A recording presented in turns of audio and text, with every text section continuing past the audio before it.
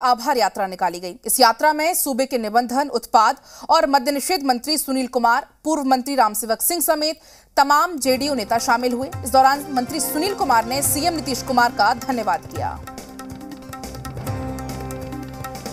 यह जातीय जनगणना सहायक होगा बिहार के उन्नति में, विकास में और इस जो जातीय जनगणना का निर्णय है, इसमें सभी पार्टियों का समर्थन प्राप्त है और सर्वसम्मति से कैबिनेट ने भी डिसीज़न लिया और अब ये कार्रवाई बहुत ही जल्द शुरू होगी और हम सभी से अपील करते हैं नागरिकों से कि जब जनगणना शुरू होगी तो उसमें निश्चित रूप से हिस्सा लें ताकि ये अभियान सफल हो सके।